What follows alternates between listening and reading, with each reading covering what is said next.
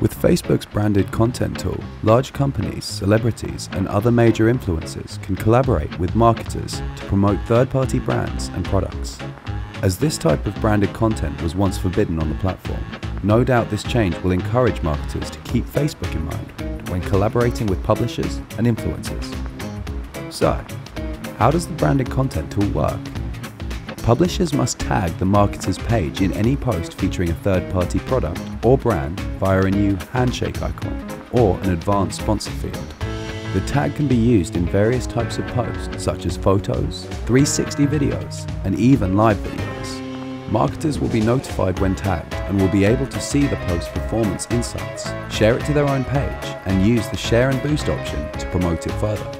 Although the branded content tag is only available to verified users at this time, smaller businesses can benefit from it too.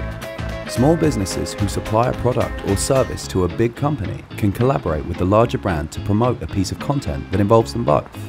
For example, a video created by a small production agency for a big sports brand can be tagged with the new tool and shared by both parties.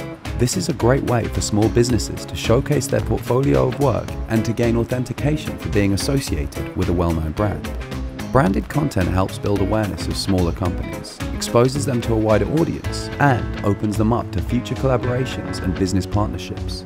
This synergistic type of branded content and the ability to view performance insights on these collaborative campaigns gives small businesses more control over all their Facebook marketing efforts in ways that can be highly beneficial to their brand. Are you ready?